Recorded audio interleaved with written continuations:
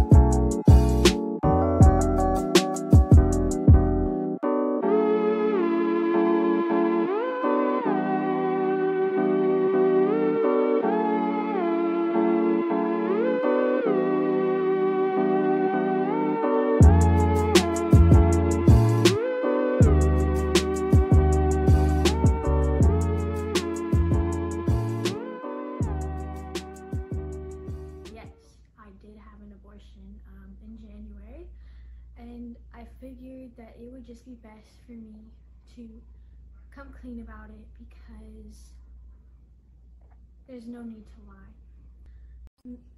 A very common thing for people to manipulate people into doing these type of sexual things, which happens a lot. Trust me, I know. Um, was let me call the person who I was with that night and tell him. And let's just say I went through it alone, and that was the hardest part because n- nobody cared, you know, like, and I couldn't tell my family.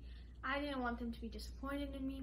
Like, nobody cared. I had to do this alone, and I think that's what I hate so much about it.